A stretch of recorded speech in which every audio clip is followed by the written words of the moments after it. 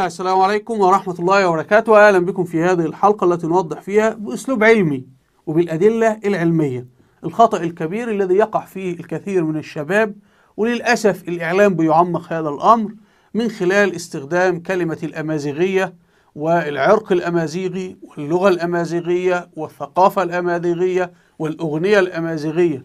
وأنا هوريكم الآن كيف أن القنوات الفضائية اللي لا تختلف في كل شيء وبتأتي عند هذه النقطة لأن التعليمات جاية بهذا وبتوحد هذا المصطلح بالضبط. وبعض الإخوة أرسلوا لي بعض الإخوة المسلمين من المغرب والجزائر قالوا والله لا تستخدم مصطلح البربر لأنه مصطلح مسيء. وطبعا الكلام ده غلط خرافات يعني. هم قرأوا هذا على الفيسبوك ورددوا هذا الكلام.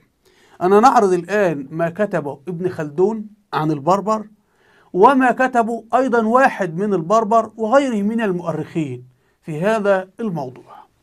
لكن قبل أن نعرض ما قاله ابن خلدون وأصل كلمة بربر ومن أين جاءت ولماذا هي التسمية الصحيحة وليست الأمازيغ نقول بداية أن كل قوم هم الذين يسمون أنفسهم. يعني أنا اليوم لما باجي أسأل الفرنسيين واحد جاي من باريس أقول له من أنت؟ بيقول لي أنا فرنسي. بلدك اسمها إيه؟ اسمها فرنسا. طيب لما باجي أسأل واحد من مصر جاي لك الجزائر بتسأله أنت مين؟ يقول لك أنا مصر أنتوا مين؟ إحنا الشعب المصري. طيب لو أنت الإنجليز هل إحنا سميناهم الإنجليز ولا هم أسموا أنفسهم الإنجليز؟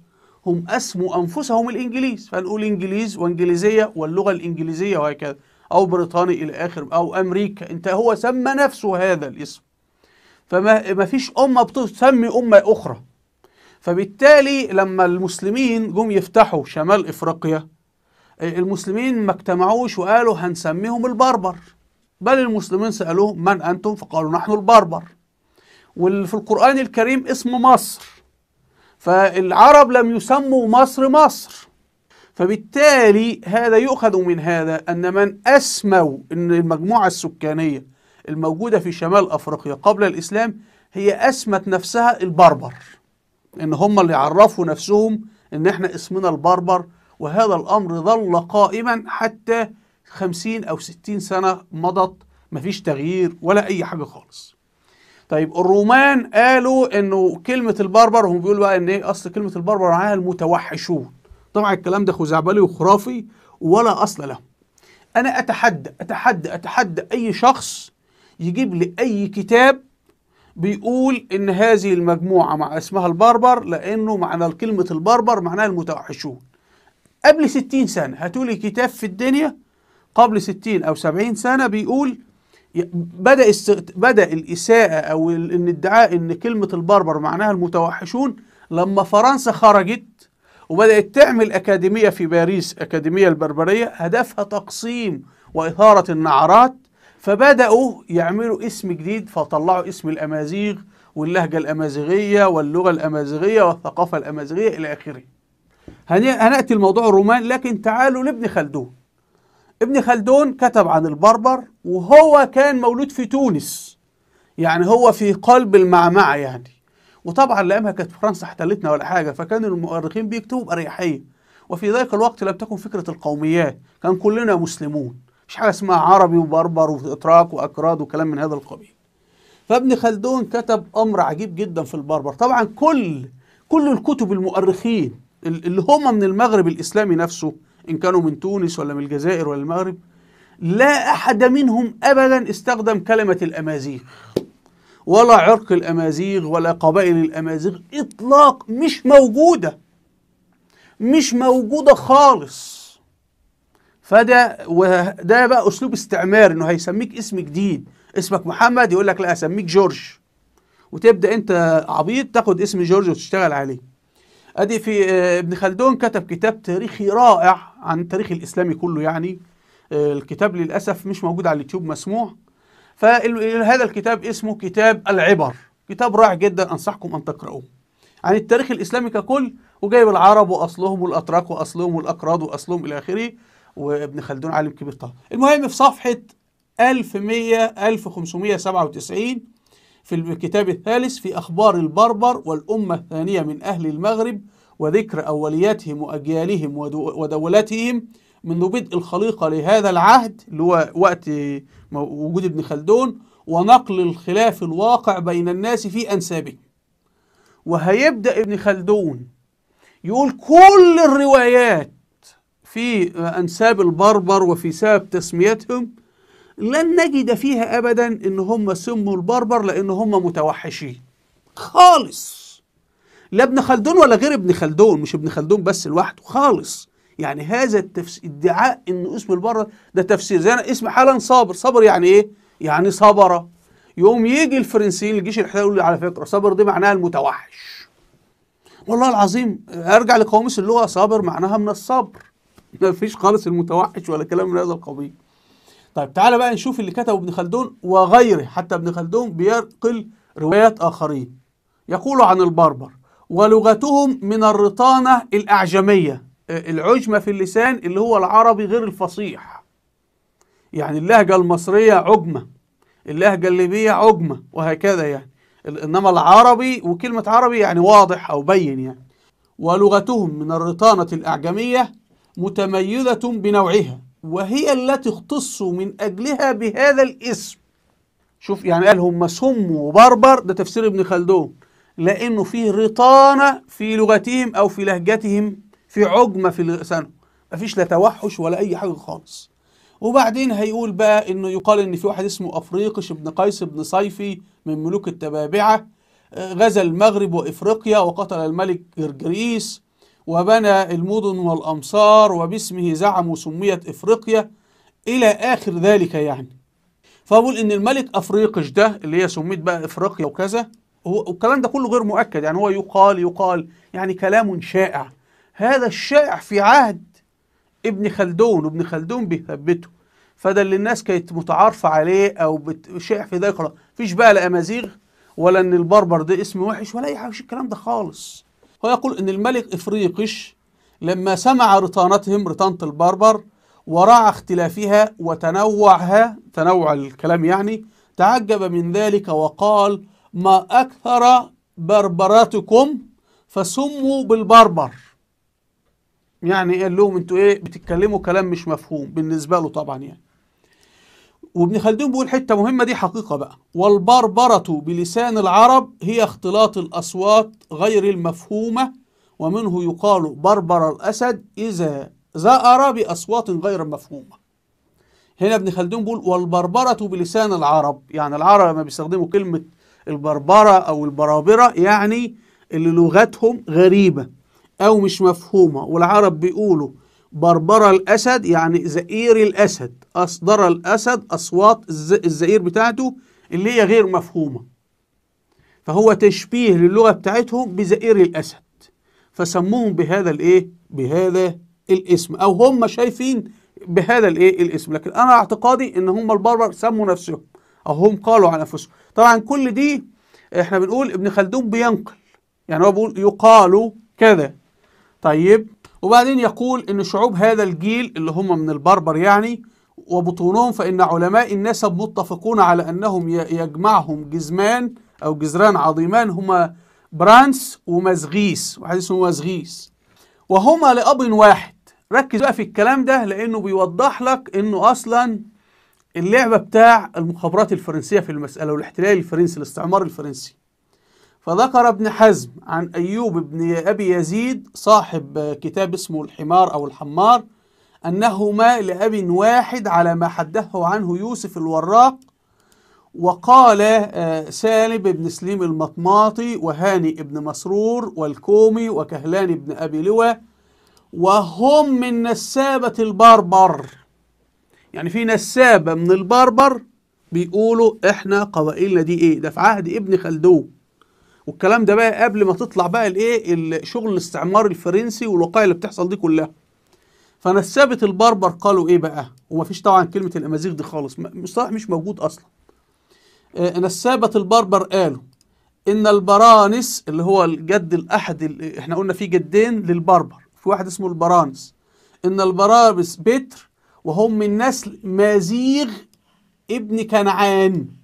أول مرة تظهر كلمة مزيغ أهو. إن إن فيه فئة من البربر جدهم مين؟ مازيغ ابن كنعان. فجم الاحتلال الفرنسي وقف عند اسم مزيغ طب ما تكمل ما هم البربر بيقولوا إحنا إيه؟ أبونا الكبير مزيغ ابن كنعان.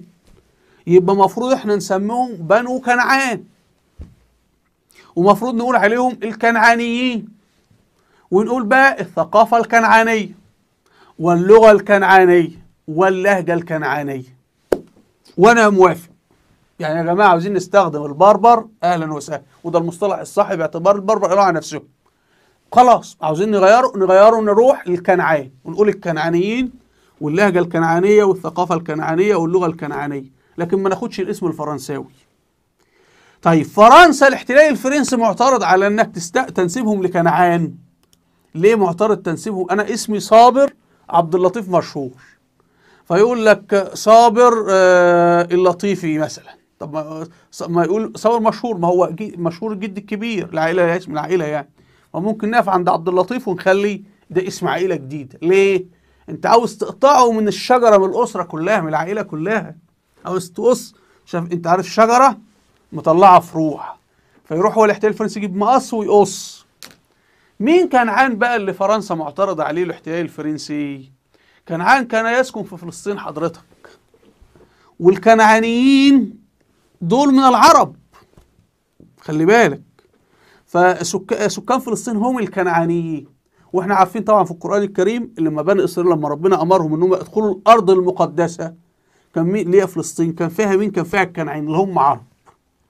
فدي بيوضح لك الأمور كيف سارت وده وده نسابة الع... نسابة البربر الذين يقولون هذا. لكن فرنسا قالت الاحتلال الفرنسي قال لا هنستخدم اسم البربر ولا هنستخدم اسم كنعان هنبدأ نعمل حاجة جديدة خالص. وبعدين الفرع التاني اسمه البتر ودول بنو بر برضه هنا برضه ركز بنو بر. فممكن يكونوا آه الاسم البربر نسبة لاسم جدهم الكبير بر. ابن قيس ابن عيلان. وهنلاحظ إن الأسماء عربية. يعني اسم كنعان اسمه اسم بر أو اسم قيس اسم عيلان. وبيقول لك إيه؟ ويقول وربما نقل ذلك عن أبي أيوب آه ابن أبي يزيد إلا إن رواية ابن حزم الأصح لأنه أوثق. بيقول إيه؟ أما شعوب البرانس وبيتكلم على النسب الثاني وبيتكلم حاجات كتيرة جدا. تعالوا الآن نذهب إلى أهم كتاب في تاريخ المغرب الإسلامي كله. وهو كتاب صدر من 150 سنة قبل الأفلام دي كلها. ومؤلفه اسمه أحمد بن خالد الناصري وهو مولود في وادي يسكنه المسلمين البربر في المغرب. هذا الكتاب اسمه كتاب الاستقصاء في أخبار دول المغرب. طبعا إحنا عارفين الجزائر وتونس إلى كل هذه الدول نقراها دول المغرب. شوف بقى الاستعمار غير الأسماء إزاي؟ وخلى لك بقى في حاجة اسمها المغرب وفي حاجة اسمها الجزائر وفي حاجة اسمها تونس. يعني عمل أسماء جديدة يعني. المهم لكن عشان ما يبقاش في وحده واحدة سنأتي للخطورة في التلاعب بالتسميات التي جرت لبلادنا. المهم مؤلف كتاب عن تاريخ دول المغرب كلها. مش مقصود بقى طبعا تونس والجزائر لا الدولة الإدريسية والدولة المارينية إلى آخره والمرابطين والموحدين. وهو أهم كتاب في تاريخ المغرب الإسلامي كله من 150 سنة. فهو كتب في هذا الموضوع. هنا في صفحة 28 تحت عنوان شوفوا الكتابة قديمة جدا يا جماعة إيه 150 سنة. القول في نسب البربر وبيان أصلهم ولا وجود مرة أخرى لكلمة الأمازيغ إطلاقا. مفيش هذا مصطلح مش موجود أصلا خالص. فقال اعلم أن الناس اختلفوا في تحقيق نسب البربر ولا أي أصل من أصول الخليقة يرجعون. فذكر صاحب كتاب الجمان واحد واحد كتاب اسمه كتاب الجمان في أخبار الزمان. ونقله عن أهل العلم بالسير أن بني حام تنازعوا مع بني سام فانهزم بنو حام أمامهم إلى المغرب يعني إن هم اتخانقوا يعني أولاد سيدنا نوح. ف وبعدين وتناسلوا واتصلت شعوبهم من أرض مصر لآخر المغرب. إن دول كانوا أبناء سيدنا نوح واتخانقوا مع بعض في بعضهم جاء إلى الإيه؟ إلى المغرب.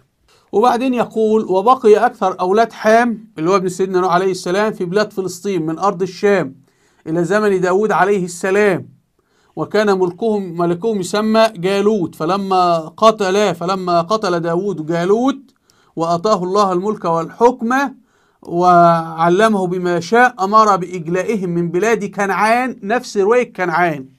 إن حصل آه، اقتتال بين العرب أو السكان اللي موجودين في فلسطين اتقتلوا. فأمر بإجلائهم من بلاد كنعان وفلسطين إلى أرض المغرب فساروا نحو إفريقيا والزاب في المغرب يعني وانتشروا هناك حتى ضاقت بهم تلك البلاد وامتلأت عنهم الجبال والكهوف والرمال وصاروا يتبعون مواقع القطر بالإبل وبيوت الشعب.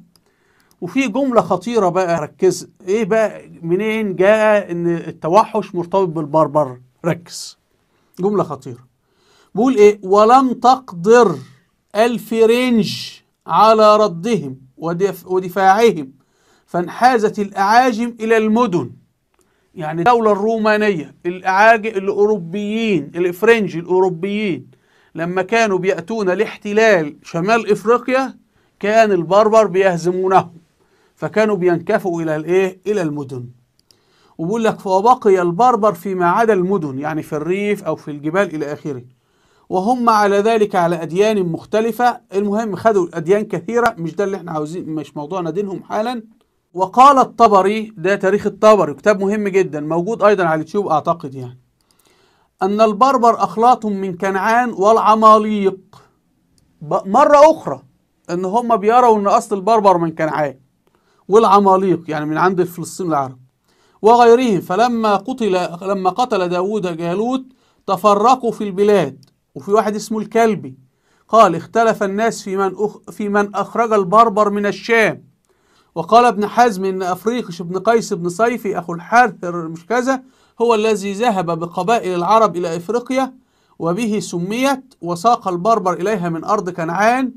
عندما غلبهم يوشع بن نون وقتلهم فاحتمل الغل منهم وساقهم إلى إفريقيا. وفي شعر في هذا الكلام الشعر بيقول إيه؟ بربرت كنعان لما ساقتها من بلاد الضنك للخصب العجيب. أي أرض سكنوها ولقد فازت البربر بالعيش الخصيب. المهم آه، مش عاوزين ندخل في كل هذه الروايات. هي صح أو خطأ آه، مش ده الموضوع. إنما المقصود إنه الثابت عند الأقدمين كلهم إنه مفيش حاجة اسمها إن اسم البربر مسيء ولا في تحقيق ولا أي شيء من هذا الكلام خالص. عاوزين رأي في هذا الأمر إن القرون الأولى علمها عند ربي فقط. في القرآن الكريم ربنا بيقول حاجة مهمة قوي وكم أهلكنا من القرون من بعد نوح. فكلمة إن في دول أولاد سام ودول أولاد حام ودول أولاد مش عارف كذا الكلام ده غير صحيح. ليه؟ لأن ربنا في القرآن بيقول؟ وكم أهلكنا من القرون. يعني ربنا أهلك أمما كثيرة. وأهلك أقواما كثيرة بعد سيدنا نوح عليه السلام. وكم أهلكنا من القرون من بعد نوح وكفى بربك إيه؟ بذنوب عباده خبيرا بصيرا.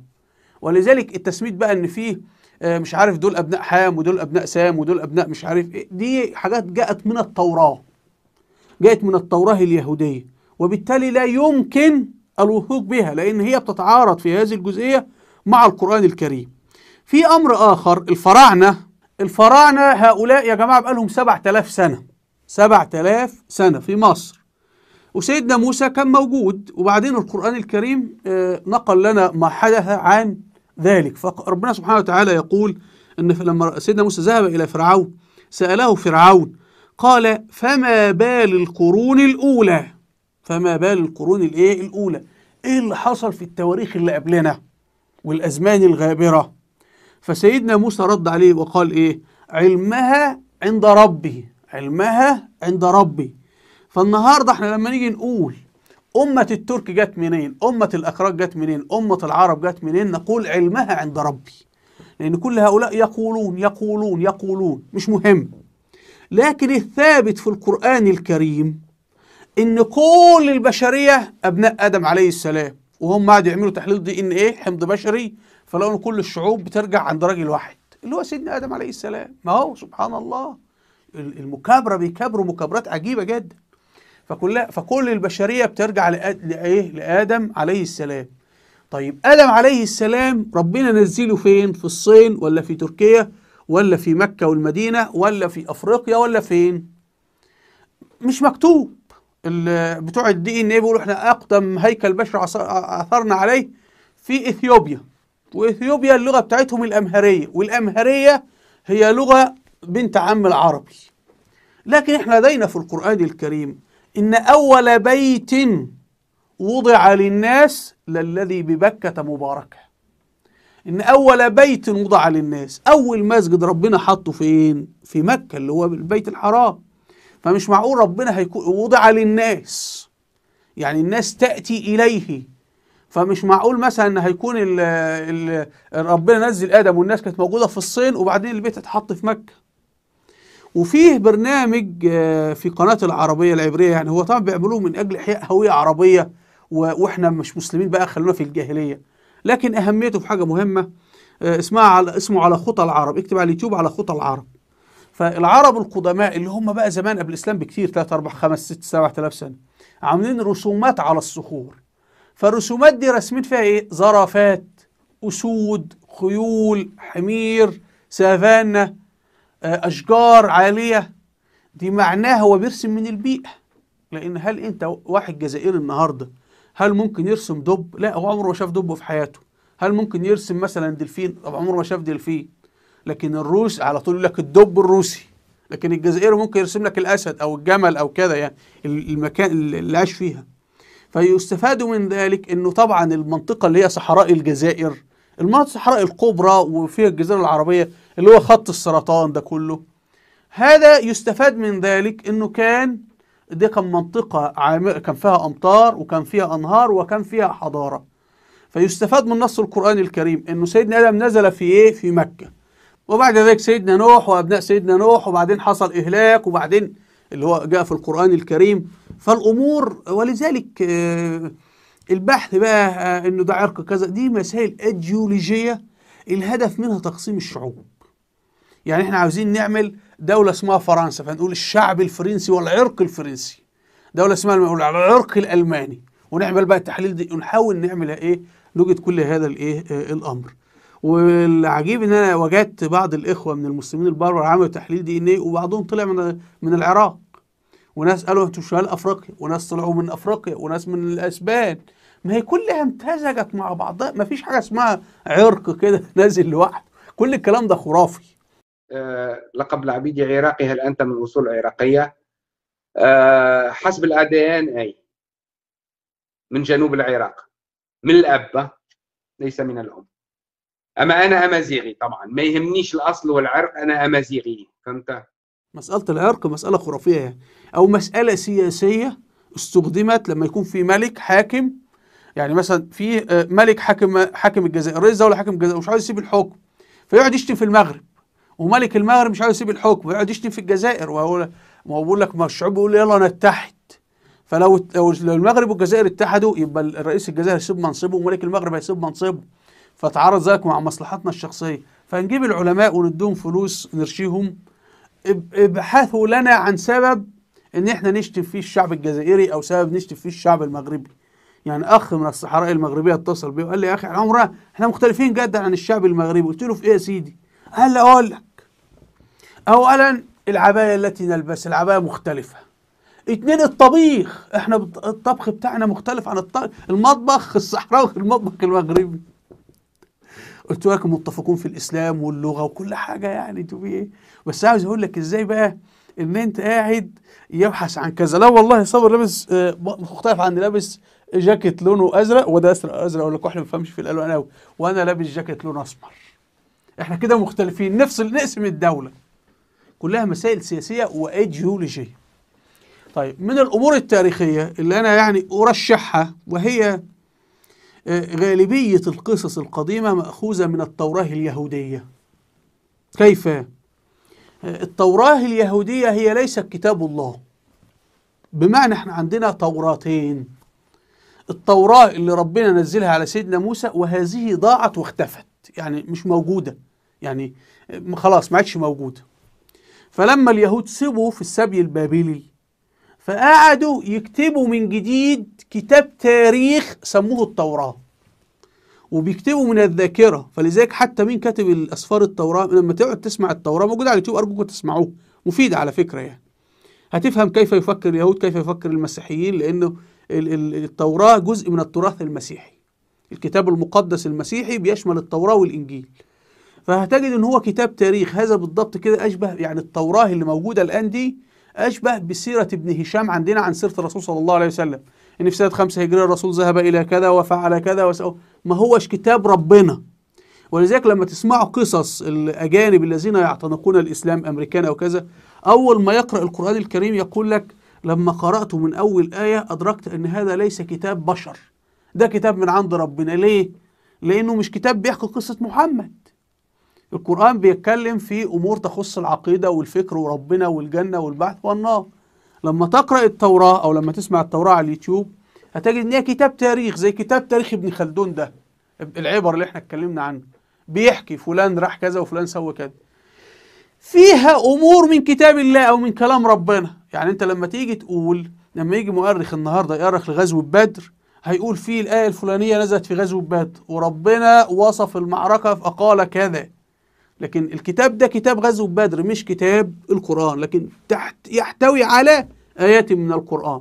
فالتوراة الموجودة الآن كتاب تاريخي كتاب آه يعني في مجال التاريخ يعني. قد يكون صحيح أو خاطئ لكن كاتبه مجهول إلى آخره. لكنه فيه فيه صواب وفيه خطأ وفيه كذب لأن اليهود كانوا كل سبع سنين بيراجعوا التوراة اللي ما يعجبوش يحذفوها هم اللي قالوا هذا الكلام والمجال لا يتسع لذلك يعني. فالمقصود إنه ممكن حصلت حروب في فلسطين وفي ناس نزحوا من فلسطين. ممكن يكون كان في أصلا سكان في أفريقيا الشمالية وممكن يكون كان هؤلاء ممكن دخلوا مع بعض واندمجوا كما يحدث في الهجرات البشرية يعني هذا الذي جرى. نأتي أخيرا إلى مسألة الرومان وإن هؤلاء برابرة إلى آخره. وشوفوا بقى الاستخدام مختلف خالص يعني. يعني العرب عمرهم ما قالوا آه إنه البرابرة يعني المتوحشين لكن الرومان بيقولوا هذا.